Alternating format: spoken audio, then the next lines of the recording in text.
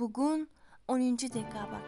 O'zbekiston respublikasi davlat madhiyasi qabul qilingan kun.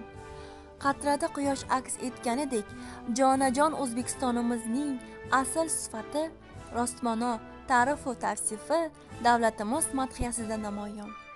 Madhiyamizga oid qonun 1992 yili 10 dekabrda qabul qilingan. Ushbu mukammal badiiy asar o'zbekiston qahramoni xalq shoiri abdulla oripov hamda atoqli san'at arbobi benazir kompozitor mutalburxonov tomonidan ancha mehnatu mashaqqatlar bilan yaratilgan. Hurligim ramzisan tinchlikdan nishon.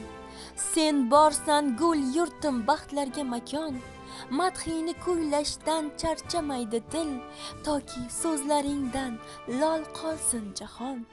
Sen yurtning jamoli hurlik timsoli qalbimning mash'ali quyosh misoli.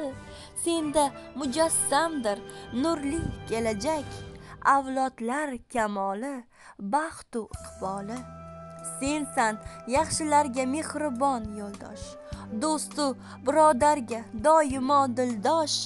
Baxtdan masrur bo'lib turganda har choq dildan kuylashadi har bir keksa yosh.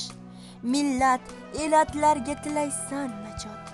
Ajdodim ruhlari senda barhayot. Ajdodlar mardoni ruhi senga yor. Mangu jaranglayver toki bor hayot. Yo'limga nur ziyo sochgan shamsiyam. Dillardan dillarga ko'chgan faxriyam.